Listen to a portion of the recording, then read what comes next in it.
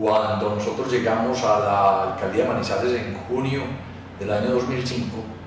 el hospital de Caldas estaba cerrado. El alcalde anterior, el doctor Néstor Eugenio Ramírez, había tomado una decisión eh, de cerrar el hospital de Caldas por su incapacidad e imposibilidad económica y casi que física de poder prestar servicios de manera oportuna y adecuada. Eso fue una consecuencia eh, y una decisión que tuvo que tomar el alcalde prácticamente, eh, lo llevaron todas las circunstancias de ese momento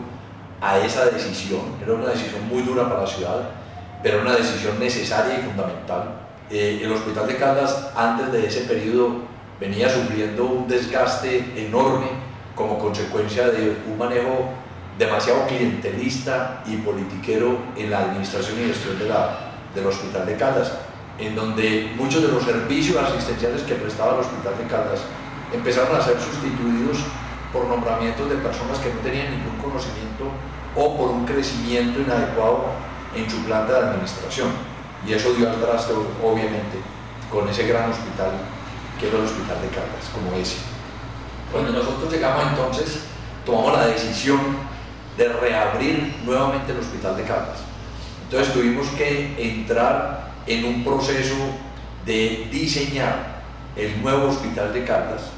demoler algunos de los edificios que conformaban ese hospital y demoler prácticamente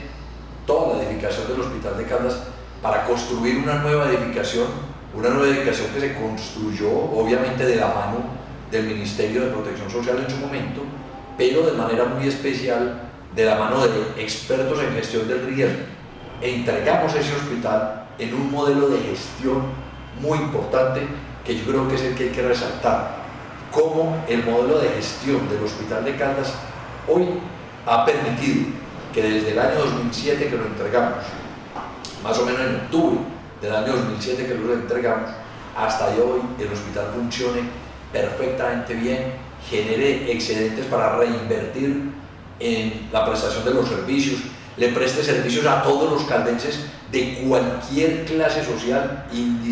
independientemente de su rango, raza, color, clase social, allá llegan todos los caldenses que necesitan eh, eh, asistencia médica de altísima calidad. Hoy nos enorgullece porque ese, sí, de los pocos hospitales en Colombia debidamente certificados